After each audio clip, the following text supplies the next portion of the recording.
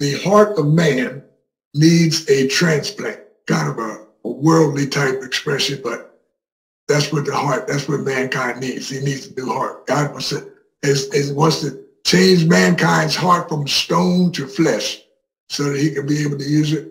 And we're going to take a look at the, the, the wickedness of the heart, saints of God. That's the one thing, that's why we need a change. Keep this in mind. If Jesus Christ had not come and paid the price for our sins, no flesh of any kind would have been saved, okay? Because we were born in sin, shaped in iniquity. Now keep this in mind. We were not born sinners, okay? When we came into the world, we were completely free of sin, but we were born into it and could not help, could not escape it because that was the nature of, hum, of humanity because of the, the transgression of Adam and Eve in the garden. So had not, if it had not been for Jesus, all humanity would have lived their lives, died, and their souls would have gone into hell and ultimately into the lake of fire because there would not have been anyone to save us from that fate. Okay.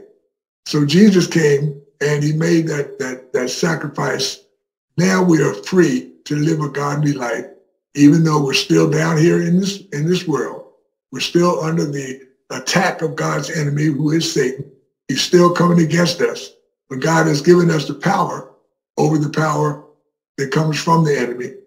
And that power that's in us, Bible tells me that is greater than the power that's, that, that, that, that's, that's, that's great, greater than Satan's power.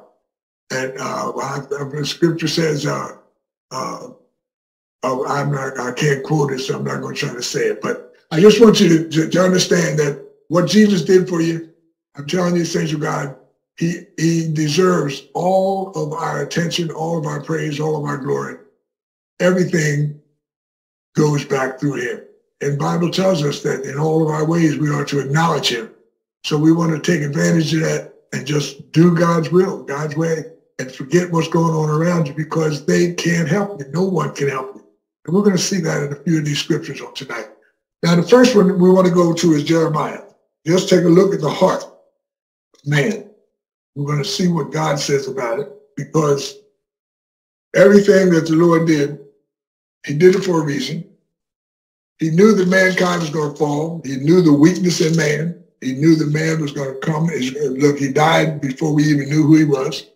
He gave his life for us knowing that we weren't going to accept him, but he died for us anyway because he knew that when Adam was created, Adam was created a perfect being, okay?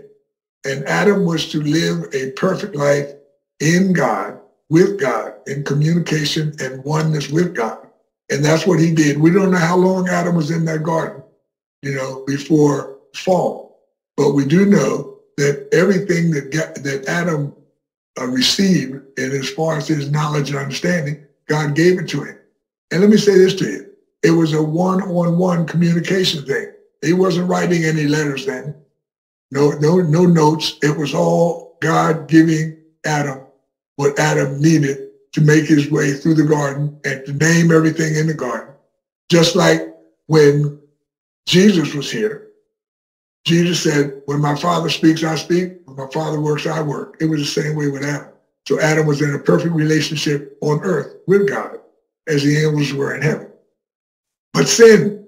Okay, just like the with Lucifer in in in heaven before he was cast down.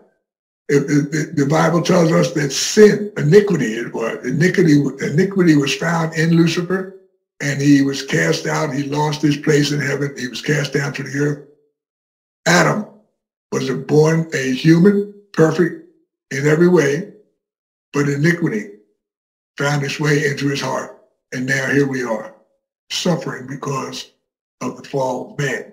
But God made a way for us to get back. So let's look at this now. It's uh, Jeremiah, the 17th chapter. And I'm not going to read the whole thing to you, but I just want to start up here and come down to where I want you to hear.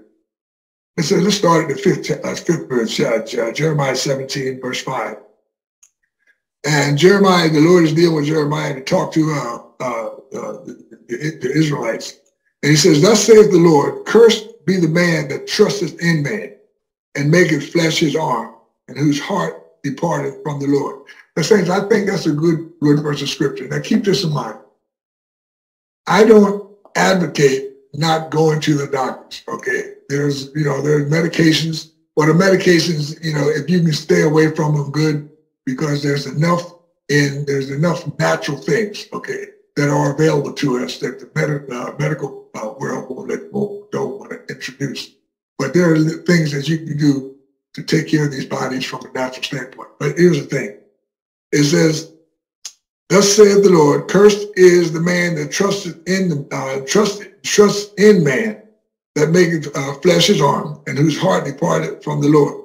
Because again, the doctors can't heal you. Okay. I think that's what I was trying to get to. The doctors can't heal you.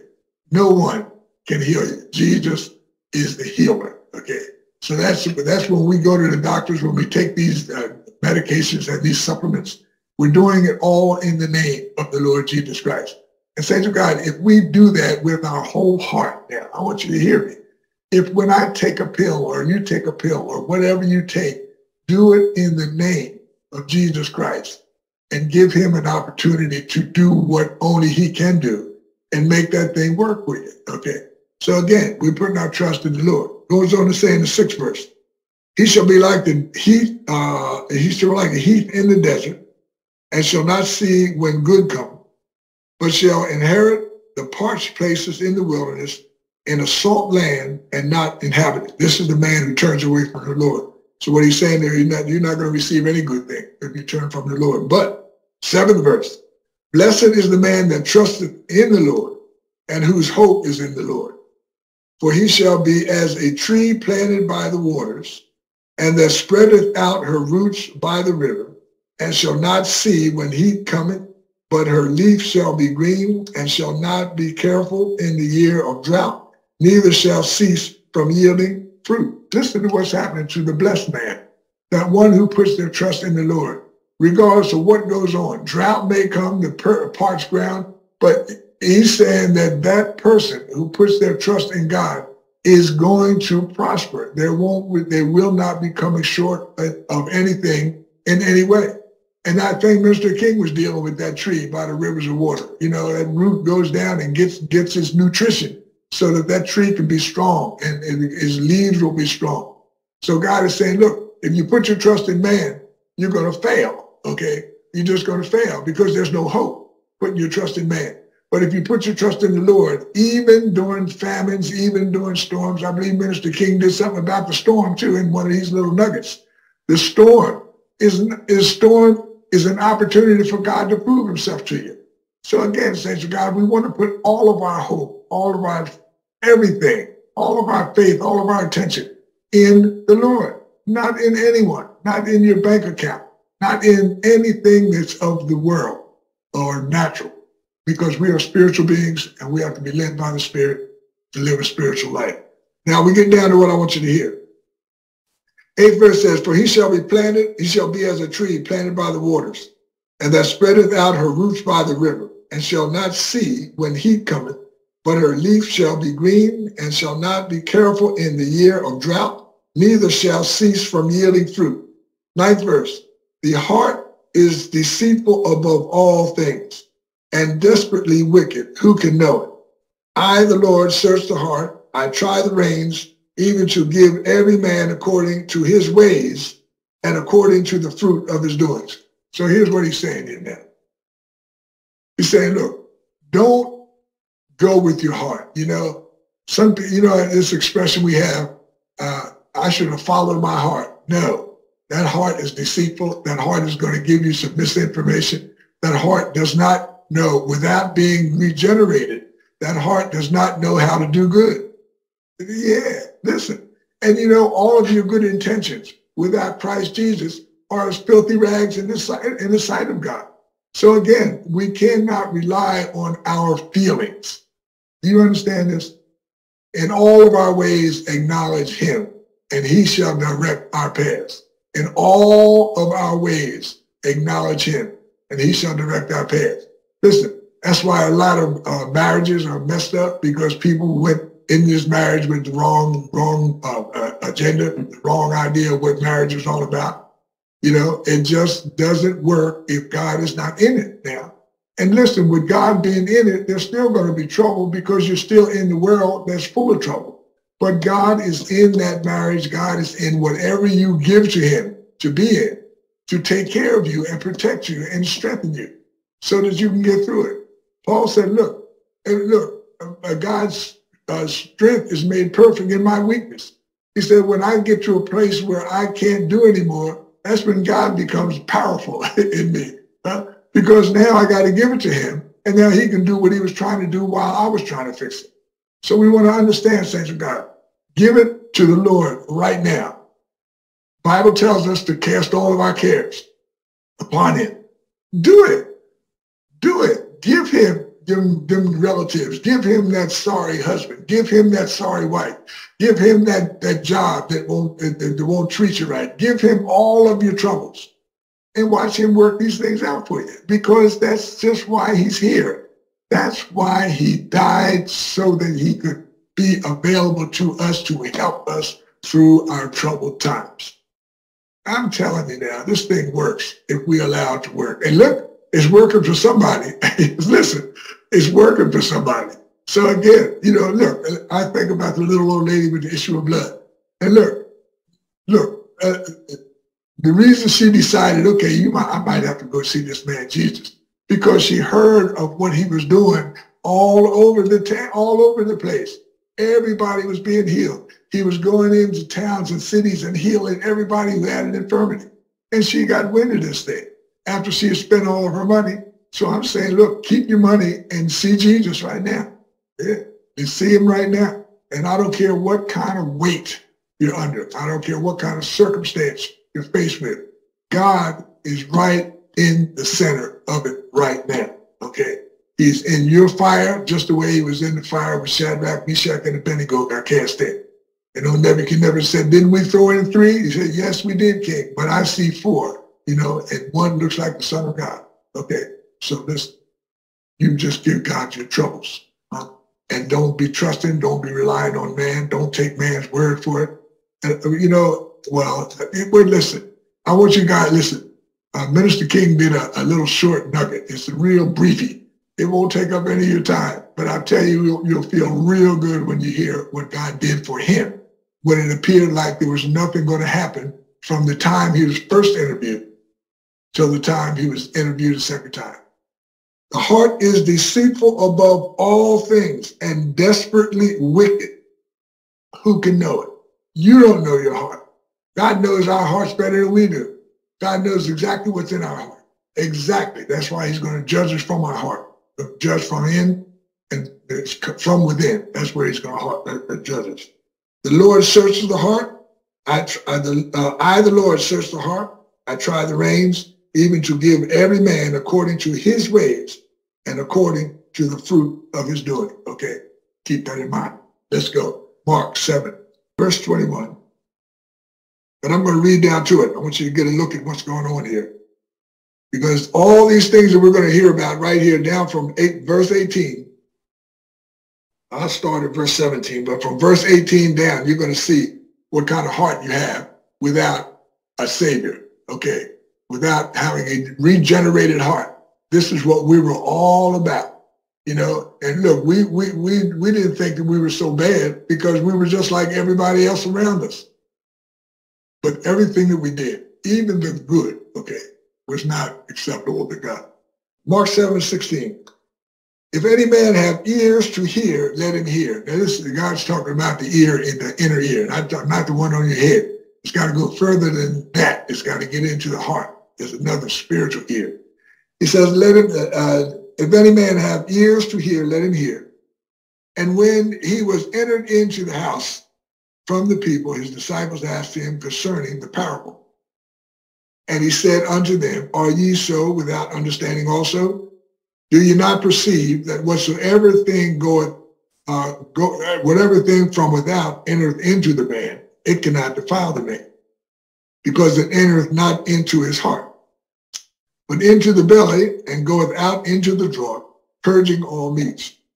And he said, That which cometh out of the man, that defileth the man. Listen, for from, with, for from within, out of the heart of men proceedeth evil thoughts. Listen to this.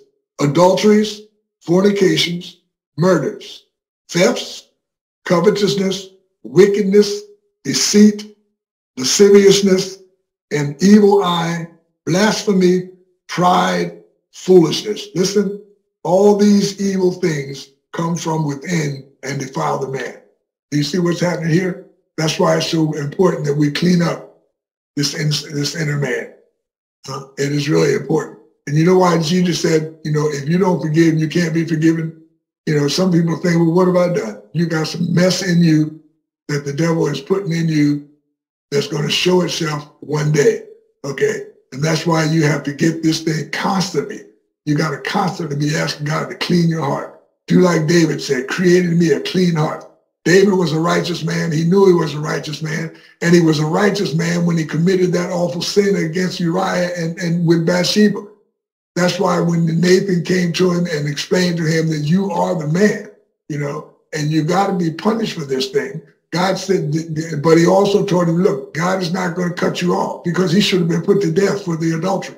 But God, he said, God is not going to cut you off, but you got three things you got to choose from and neither one of them were good. But he said, look, you know, I'm going to choose the, be- the, the better of the worst, uh, you know, of the, be- the best of the bad, because he, that was the only way he was going to get free. Okay. But he knew what he was doing, but he was a man after God's own heart, even in that.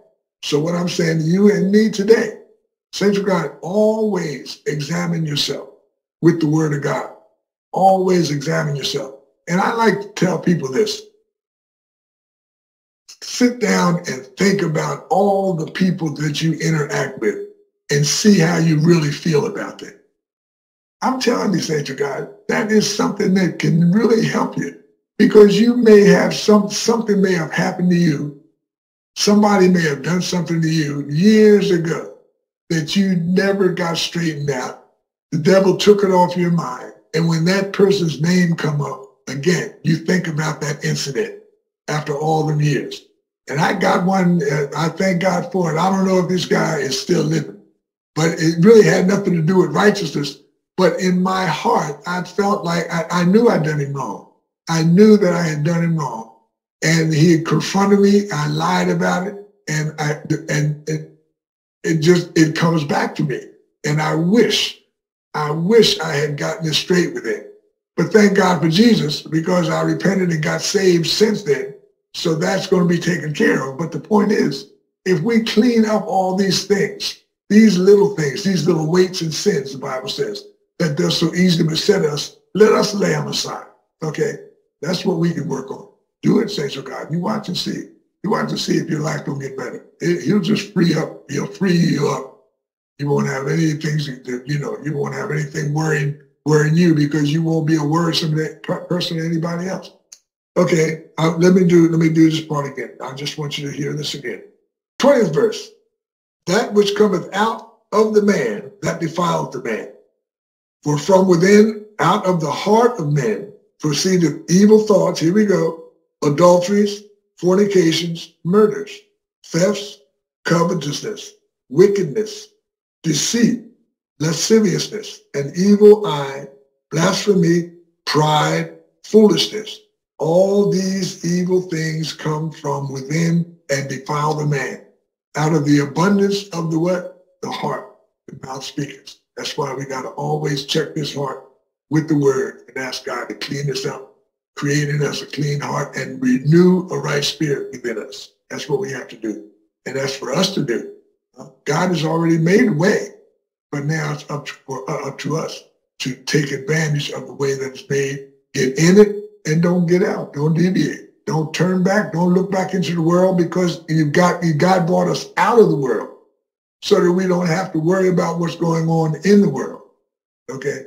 Just stay with Jesus and watch him do what he, only he can do. Romans, third chapter of Romans. We've been in Romans a lot, but there's something I want you to hear today. Romans 3. Okay? I want you to keep it, keep this in mind. Without Jesus Christ, you cannot do right. Without Jesus Christ, you cannot do right. Okay. And that's why he saved you. That's why you turned your life around. And I want you to take full advantage of what was done. Okay? Because listen, you know it and I know it. That devil's still trying to pull you back into the world. That devil's still having us do some of the things that we know is wrong, but we just do them and then we're going to repent. this, this just don't do them. Don't be that one that puts your, your Holy Ghost on the mantle and go get somebody told, you know. Just be careful. Be careful, saints. Listen. Romans 3, verse 10. As it is written, there is none righteous, no, not one. There is none that understandeth. There is none that seeketh after God. They are all gone out of the way. They are altogether become unprofitable. There is none that doeth good. No, not one. That was a indictment on all of humanity. But thank God for Jesus. There are those who are now been taken out of that category and put into a sanctified, justified life in Christ Jesus. Where are you now, saints of God? I, I, I can't hear you, but I'm to tell you where you are. Your life is hidden in Christ Jesus in heavenly places right now, okay? Right this minute. You are safe, sealed, sanctified, and justified because you accepted the blood sacrifice on Calvary's cross. You went down in water to get that old Adam nature washed away, and God filled you with his spirit. It is the exact same spirit that spoke everything into existence. It is the exact same spirit that was in that body of Jesus Christ performing all those miracles. It is the exact same spirit that left him on the cross to die so that that sacrifice could be made and the, and the penalty could be paid and he went into the grave and spoke to all those saints that died waiting on, on Jesus.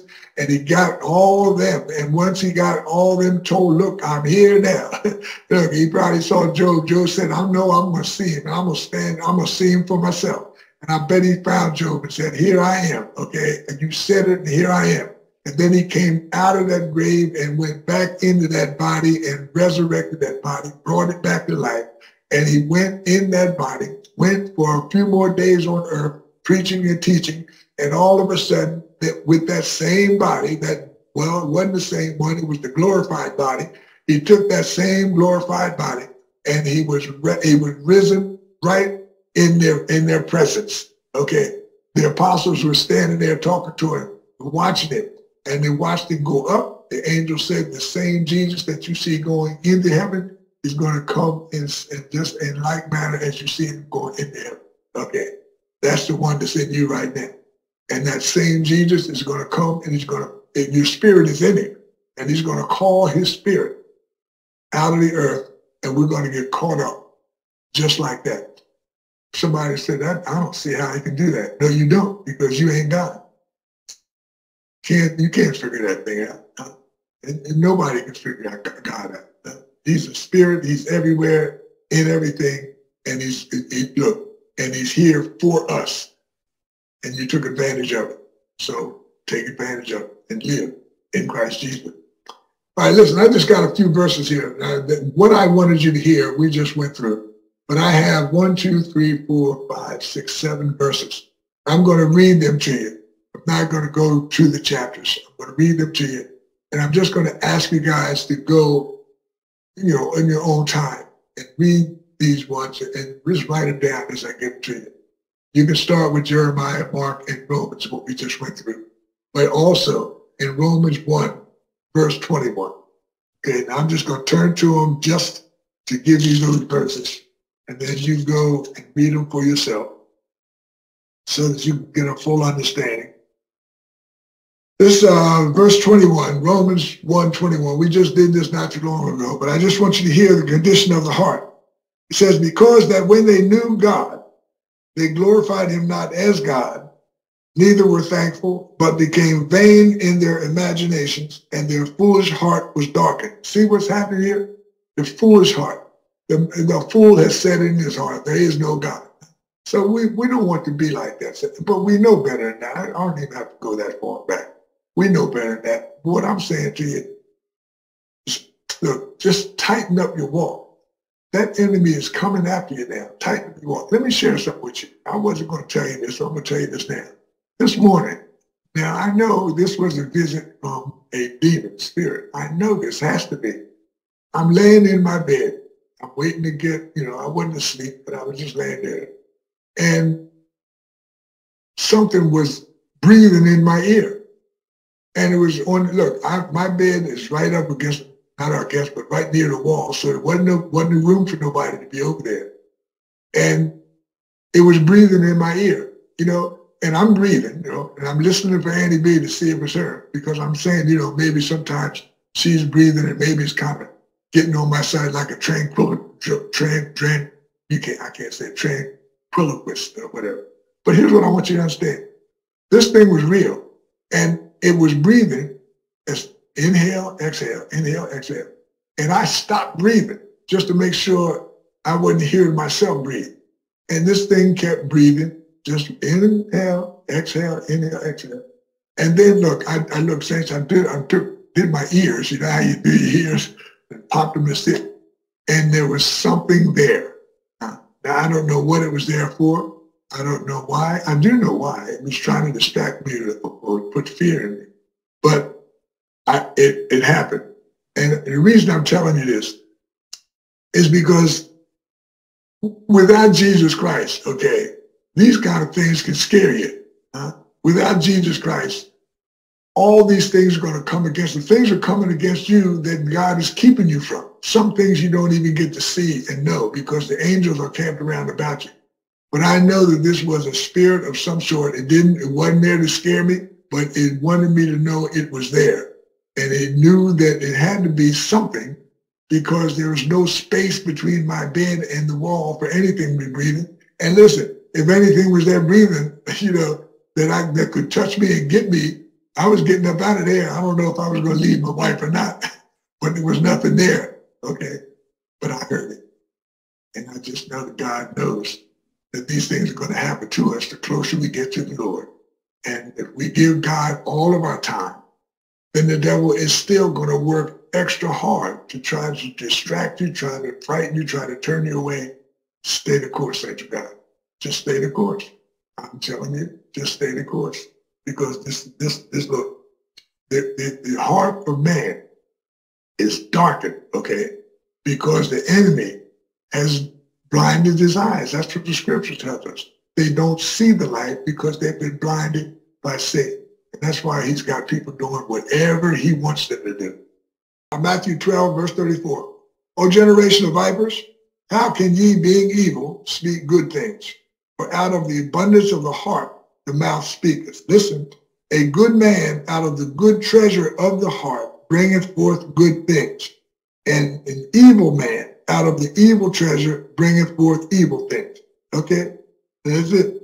But I say unto you that every idle word that men shall speak, they shall give an account thereof in the day of judgment. For by thy words thou shalt be justified, and by thy words thou shalt be condemned. Okay? So listen, if evil, if there's evil treasure in your heart, that's all you're going to be able to get, get out. Because that's what's in there. Out of the abundance of the heart, the mouth speaks. So what's in the heart is coming out. Okay. So that's why we want to keep good things in there. That's why we want to we want to keep a, a forgiving spirit in there. We want to keep a peaceful spirit in there. We want to keep a loving spirit in there. We want to keep a helpful spirit in there. I just want to say this real quick too about my, my sister-in-law. She has, God given her a gift of helps. Okay. You know, and that's a gift from God. And she is the type of person that will help anybody and and the, the, the, the whole neighborhood, people were coming from all over different areas, from traveling long distances just to be in that celebration because of her, you know, because if God is just rewarding her for the work that she did for him, if, if it's in you, let's work it for the Lord. Let's do the good things, you know, out of the abundance of the heart. Do the good things. Let good things come out. And God is going to take care of us, saints of God, if we do that. Uh, Psalm 51, verse 3 here says, For I acknowledge my transgressions, and my sin is ever before me. Against thee and thee only have I sinned, and done this evil in thy sight, that thou mightest be justified when thou speakest, and be clear when thou judgest. Behold, I was shapen in iniquity, and in sin did my mother conceive me. So this is something we have to acknowledge too. That we're born sinners. No, we were born into sin. Okay. And we could, we had, we had no other way to live except a sinful life, which again takes us back to what took, what took place on the cross. So you are free from that. Okay. So don't let that sinful nature, that sinful uh, uh, uh, uh spirit get into you and stick. You know, he's going to come, but don't let him stay. You know, just look, get it over with. Repent, get it over with, keep moving. Goes on to say, Behold, thou desirest truth in the inward parts, and in the hidden part thou shalt make me to know wisdom. Purge me with hyssop, and I shall be clean. Wash me, and I shall be whiter than snow. Make me to hear joy and gladness, that my the bones which thou hast broken may rejoice. Hide thy face from my sins, and blot out all mine iniquities. Here it is. Create in me a clean heart, O God, and renew a right spirit within me. Cast me not away from thy presence, and take not thy Holy Spirit from me. Every day, that should be our prayer. God, make sure I don't do anything wrong today. Fix my heart so that I can do your will all day long. Okay? Don't worry about tomorrow, and you got to forget about yesterday. It's today. I got to live godly today. Anything that I didn't get cleaned up yesterday, I got a chance to do it today and keep moving forward. Okay? Because this thing, and look, this thing works if we work it. Huh?